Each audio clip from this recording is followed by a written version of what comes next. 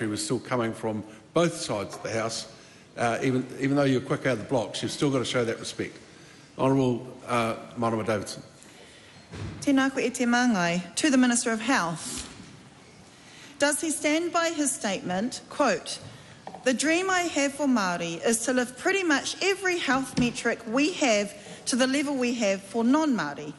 If so, what actions, if any, will he take to achieve this?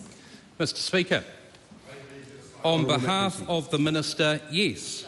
And I stand by the rest of the quote where the Minister said, quote, I think the hapu probably know what's best for their communities, end quote. Supplementary. Who, Supplementary. Hūhana Lyndon. Tēnā koe, Mr Speaker.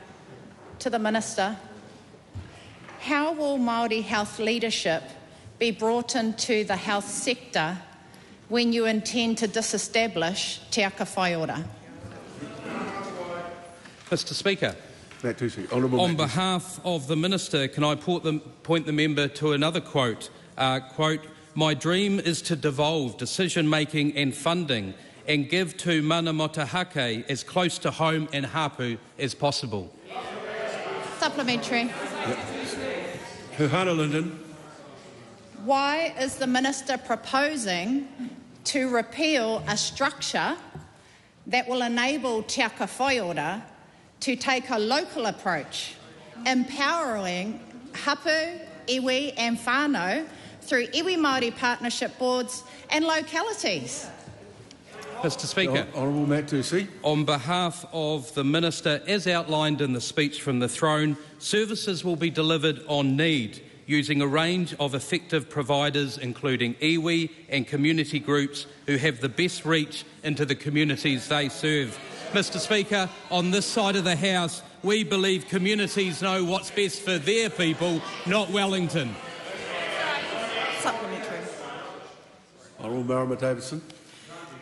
If he agrees that iwi and Māori are a best placed to ensure our health system works well for Māori at a central level as well as through local devolution, then why not ensure this is resourced through Te Aka Whai Ora that was already established instead of creating a new model?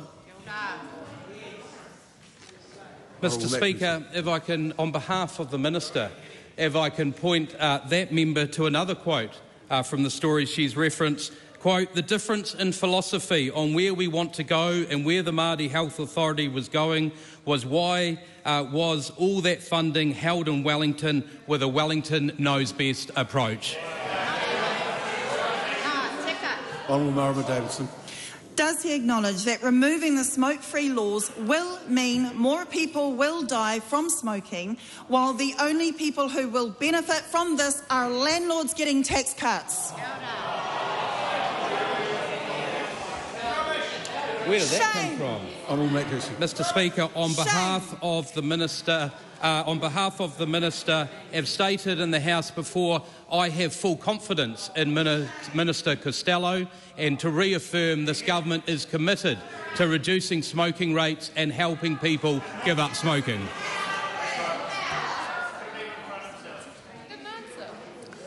Uh, question number nine. The Honourable Willie Jackson.